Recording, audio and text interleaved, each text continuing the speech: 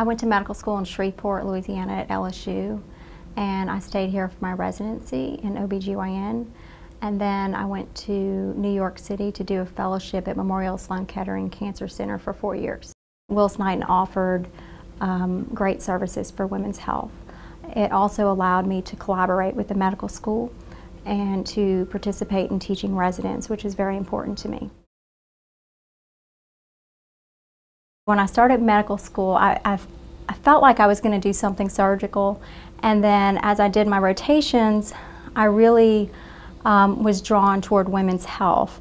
And when I did my rotation on gynecologic oncology, I knew right away that, that I had found my calling.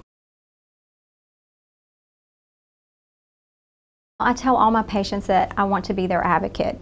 And once um, we establish a relationship and the patients start their treatment, I provide my cell phone number to every patient. And I tell them to please call me at any time. And we try to give very personalized care to our patients.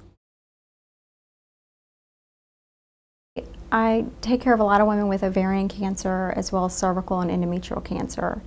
Um, I have a special interest in minimally invasive surgery, which means that um, whenever possible, I perform surgery either laparoscopically or robotically. That allows the patient to have smaller incisions and to have a quicker recovery. We offer top-notch surgical care and we are able to provide top-notch care without the patient having to travel great distances.